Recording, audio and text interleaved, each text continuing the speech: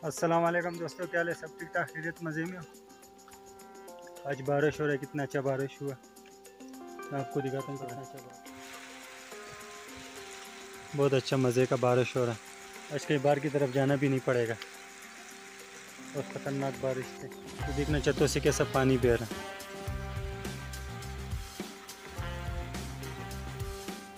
रास्तों भी अब पानी के नाले कितने जा रहे हैं।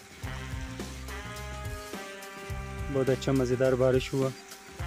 दो दिन गर्मी था, मगर आज लाभांग ने रहम कर दी। दोस्तों, घर से आवाज़ आ चुका मैं हल में हलवा पकाने के लिए बोला था, हलवा पक रहा ओहो, क्या मज़ेदार हलवा। ये सर्दी में, बारिश में ये हलवा का मज़ा कुछ अलग ही होता।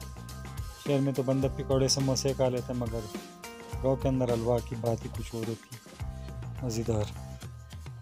बहुत अच्छा खाने में भी बड़ा मज़ा आ रहा है। इस खाने के बाद आपसे मिलते हैं, दोस्तों। दोस्तों, ये सब्ज़ी है, बड़ी मज़ेदार सब्ज़ी है। इसको हम लोग पापड़ी कहते हैं। ये पक रहा है अभी बड़ा कट्ठा होता है। ये मिसाला इसमें डाला हुआ शानदार कटास वाला मनपसंद सब्ज़ी है हम हम लोग की। तो बार बारिश, कितनी मज़े का बारिश हो रही है बकरी बारिश से भाग के अंदर आ जाए और बच्चों को देखना कैसे भागते हुए आ रहे घर की तरह। बारिश ने मारे हुए। बिल्कुल सुनसान से आ रहे और यह हमारी सब्ज़ी पक गई स्पेशल वाली सब्ज़ी तो पापड़ी क्या मज़ेदार सब्ज़ी। और बारिश में आँख में बैठने के लिए मज़ा ही कुछ अलग होता है। तो आप लोगों ने भी कभी ट्राई किया होगा सर्दी में आँख के साथ बैठना।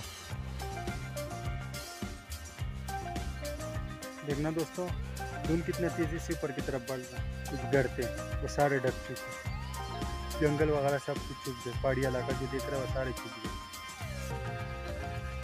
बारिश के बाद ये थोड़ा सा टाइम मिला तो ये बकरी के बच्चे को लेकर आए हूँ चराने के लिए। मैंने जी इसके साथ थोड़ा सा टाइम पास कर लेते इस जगह तक तो आपने वीडियो देख ली होगी। मेहरबानी कीजिए इस वीडियो को आगे शेयर कीजिए। आपके शेयर होने से हमें एक भी मिल जाए तो कितनी अच्छी बात है।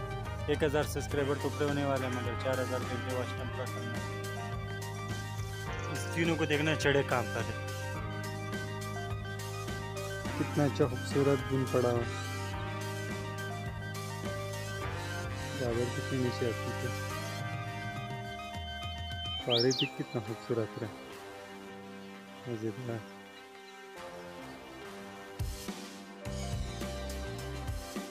सब कुछ कितना साफ़ नज़र आ क्लियर पौधे वाले। पत्ते कितने खूबसूरत हो रहे हैं